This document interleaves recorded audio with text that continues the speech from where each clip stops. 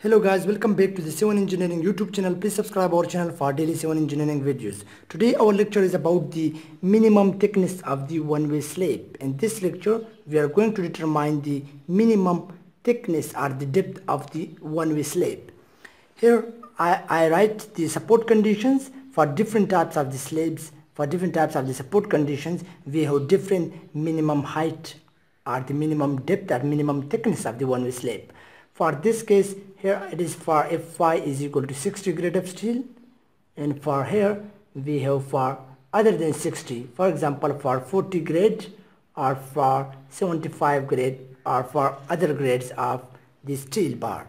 So the first support condition and the minimum thickness of the first type of the slab is the, the simply supported slab, the simply supported.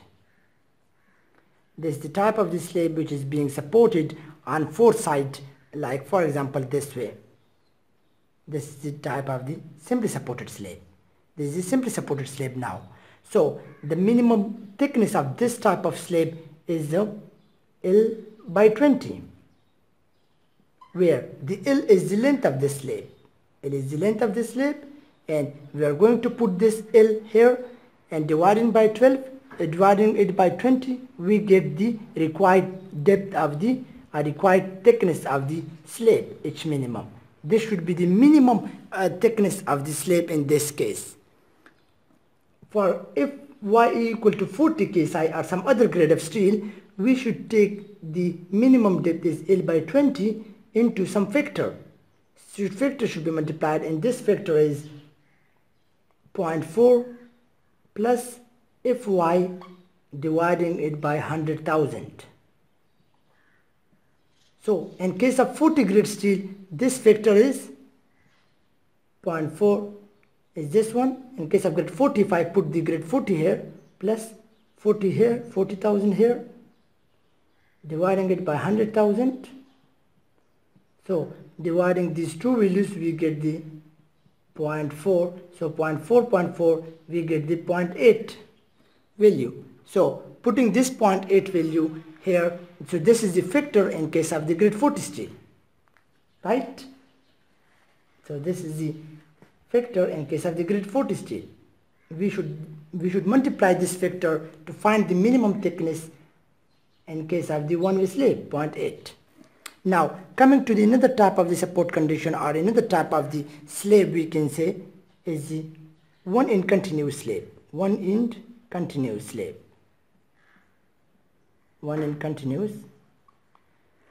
It means that this is the slab consider that this is the slab so it should be continue and one at one point at one point and the other end it should be fixed. Like for example if this end is fixed so it should be continue on the other side. Consider this is the slab uh, looking uh, in the elevation view so the one end of the slab should be fixed while the other is continuous. We call one end continuous slabs of one-way slab. Uh, so in this case, the uh, the minimum depth of the, the minimum thickness of the slab should be equal to the L by 24. L by 24 is the minimum thickness. Here in this case, it's also L by 24 but multiplying it by with the factor of 0.8 in case of the grade 40 while in case of the 75 you can also find the factor this factor should be changed uh, than the grade 40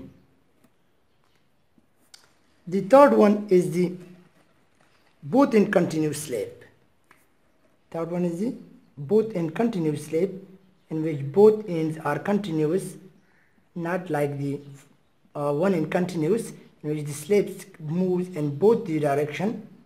So we in this case the minimum depth or the minimum thickness of the slab is L by 28 putting the values of the L length L here dividing it by 28 we get the minimum thickness of the one slab for the both end continuous. Similar for here for other than grade 60 we can find it by multiplying it with the factor. In case of the grade 40, this factor is 0.8. The last one, we, we are left with the last one of slab and this slab is the cantilever type of slab, the cantilever slab.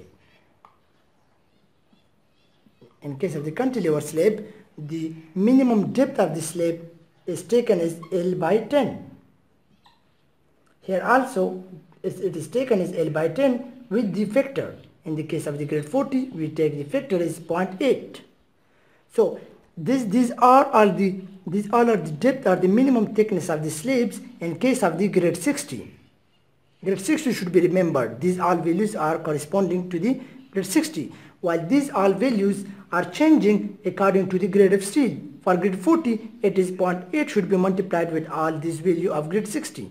While in case of the grade 75, you should find the factor and then it should be multiplied with the respective values of the grade 60. Hope you understand and don't forget to subscribe our channel for more civil engineering videos. Thank you for watching our video.